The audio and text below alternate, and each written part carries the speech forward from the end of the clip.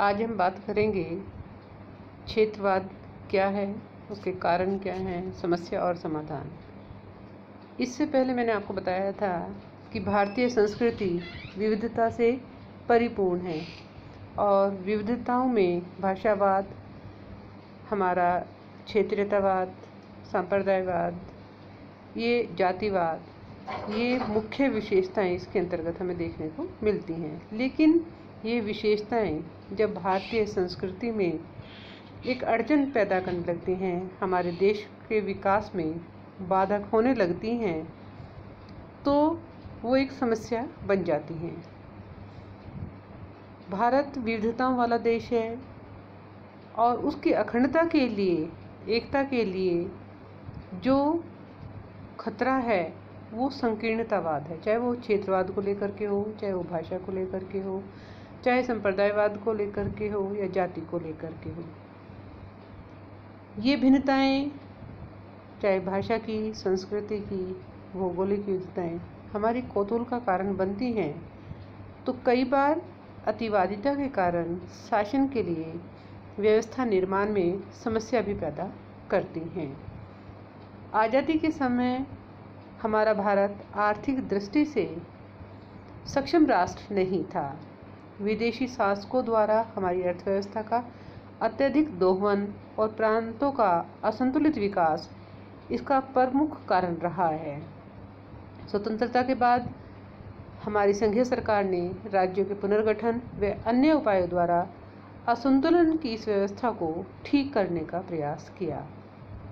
प्राकृतिक संसाधनों की उपलब्धता, हमारी ऐतिहासिक पृष्ठभूमि इत्यादि के कारण क्षेत्रीय भिन्नताएँ रही हैं।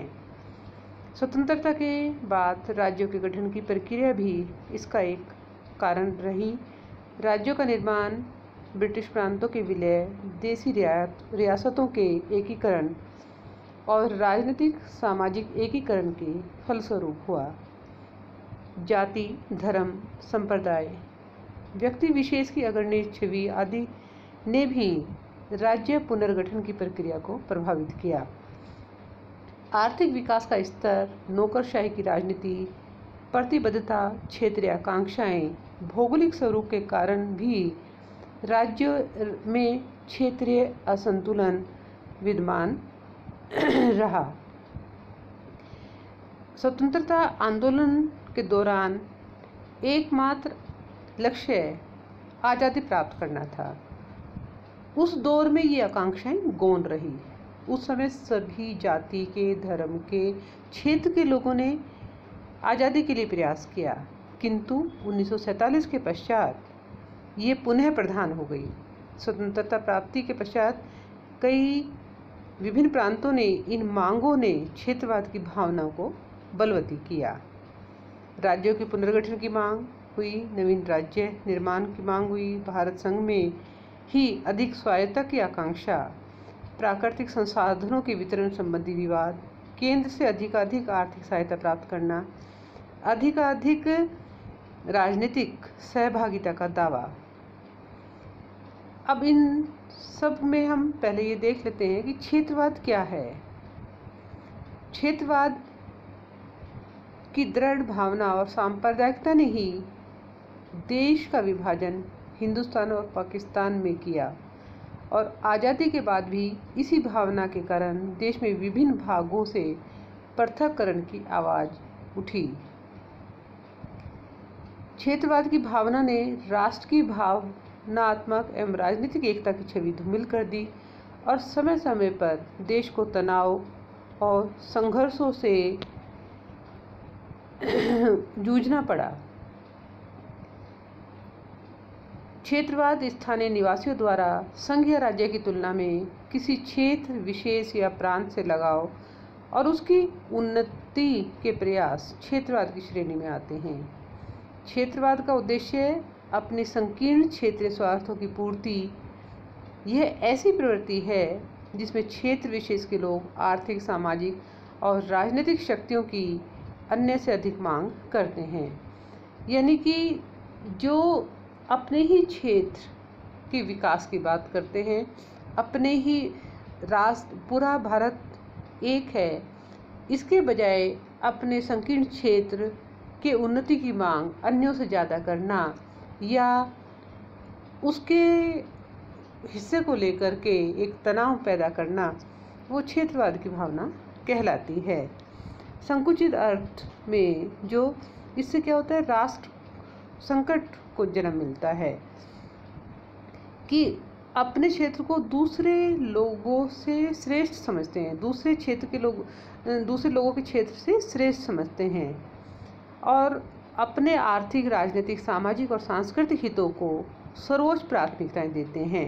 अपनी भाषाओं को अन्य भाषाओं से श्रेष्ठ समझते हैं, उसे हम क्षेत्रवाद कहते हैं। इसके कारण हैं प्रकृति, प्रदत्त भिन्नताएँ व असमानताएँ। दूसरा है प्रशासन द्वारा संसाधनों के समान वितरण का अभाव या प्रशासनिक भेदभाव। तीसरा, केंद्रीय निवेश व विकास संबंधी भिन्नता। चौथा, ऐतिहासिक एवं राजनीतिक कारण, सांस्कृतिक विविधताएँ, भाषाई विविधता से भी क्षेत्र भावना को बल मिला। संकीर्ण क्षेत्रीय आकांक्षा के राष्ट्र को दुष्परिणाम झेलने पड़ते हैं। जैसे देश की अखंडता को चुनौती क्षेत्रीय आकांक्षाओं के बलौती होने की प्रक्रिया में राष्ट्र की एकता और अखंडता को गौन कर दिया जाता है।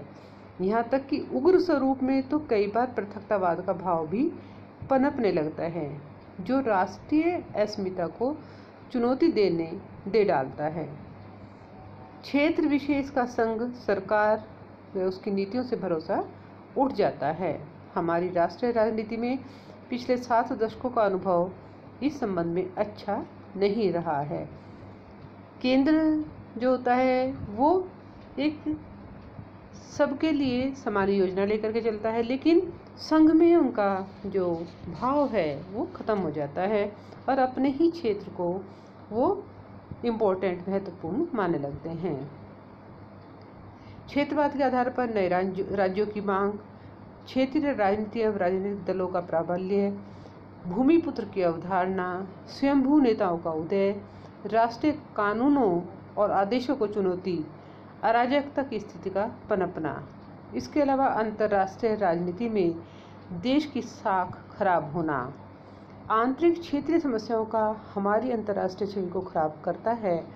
कभी कभी मानवाधिकार के नाम पर तो कभी लोकतांत्रिक मूल्यों के अनुरक्षण के नाम पर अन्य राष्ट्र हमारी क्षेत्रवाद के आधार पर उठ रही मांगों की आड़ में अंतर्राष्ट्रीय मंचों पर आलोचना करते हैं। क्योंकि जब तक कोई देश मज़बूत नहीं हो सकता, जब तक कि उसके जो भाग हैं, वो सशक्त नहीं होंगे, वो मज़बूत नहीं होंगे।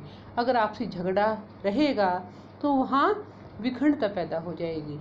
और वो विखंडता जो है, वो अन्य लोगों के लिए, विदेशी शक्तियों के लिए फ़ायदेमंद साबित हो जाती है और उन्हें आलोचना करने का एक मौका मिल जाता है, मिल जाता है। अब बात आती है क्षेत्रवाद की समस्या का समाधान किस तरीके से हो? क्योंकि समस्या का जो समाधान है, वो उसके उपाय और कारणों में निहित होता है। जिन कारणों से कोई भी समस्या पैदा होती है अगर हम उन कारणों का निदान कर देते हैं तो वो समस्या भी समाप्त हो सकती है। इसी तरह से क्षेत्रवाद को पनपने के जो कारण हैं, अगर उनको नियंत्रित कर लिया जाए तो हम क्षेत्रवाद की समस्या से राहत पा सकते हैं। उसमें पहला है संतुलित राष्ट्रीय नीति का निर्माण। केंद्र सरकार का यह कर्तव्य बनता है, दायित्व बनता है कि वे सभी क्षेत्रों के समान विकास हेतु नीति निर्माण के समय राजनीतिक भेदभाव किए बिना संतुलित व समदर्शी नीति निर्माण करें। छोटे और संसाधनों की दृष्टि से अपेक्षाकृत कमज़ोर क्षेत्रों, राज्यों के विकास को भी समान प्राथमिकता दे तो धीरे धीरे वहाँ के निवासियों में विश्वास पैदा होता जाएगा और क्षेत्रवाद का उग्र स्वरूप शांत होगा। क्योंकि क्षेत्र की दृष्टि से जो हमारा भारत है, वहाँ पे सभी क्षेत्रों में बराबर के संसाधन नहीं है। तो जब केंद्र सरकार विकास के लिए बंटवारा करती है या विकास पर ज़ोर देती है तो जो कमज़ोर क्षेत्र हैं, उन पर विशेष ध्यान देने की आवश्यकता है। दूसरा, राज्यों में स्थायी आधारभूत ढांचागत विकास। क्षेत्रीय भिन्नताओं में कमी लाने के लिए पिछड़े और अविकसित क्षेत्रों में सिंचाई, बिजली, यातायात और संचार के आधारभूत साधनों के विकास को प्राथमिकता देनी होगी, जिसके दूरगामी सकारात्मक परिणाम सामने आएँगे। क्योंकि जब सबका विकास होगा तो सब में एक मनोबल बढ़ेगा और उन्हें अपने पिछड़ेपन से छुटकारा मिलेगा। तीसरा है, विकास के विशेष कार्यक्रमों का परियोजनाओं के रूप में प्रारंभ किया जाना। यह प्रक्रिया सरकार ने प्रारंभ कर भी दी है।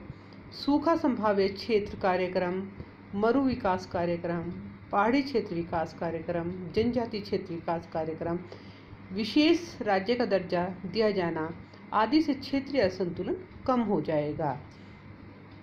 उसके अलावा प्रशासनिक दृष्टि से छोटे राज्यों का गठन छोटे छोटे राज्यों से प्रांतीय सरकारों द्वारा स्थानीय क्षेत्र विकास कार्यक्रम सफलतापूर्वक चलाए जा रहे हैं।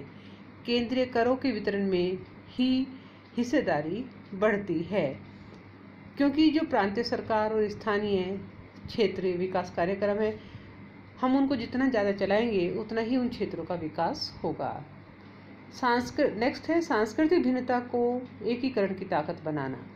जो हमारी सांस्कृतिक भिन्नता है, वो हमारे देश की एक अनूठी पहचान है तो उसी को हमें एक ताकत बनाना चाहिए। उसके लिए दूरदर्शन, रेडियो, समाचार पत्र और अन्य संप्रेषण माध्यमों द्वारा भिन्नता को ही ताकत के रूप में उभारना हमारी पहल होनी चाहिए। संस्कृति की पहचान व प्रतिष्ठा देना और उन्हें एक दूसरे के साथ सहचर्य भाव से जोड़ना एकीकरण का माध्यम हो सकता है। उसके अलावा भाषाई विविधता का सम्मान।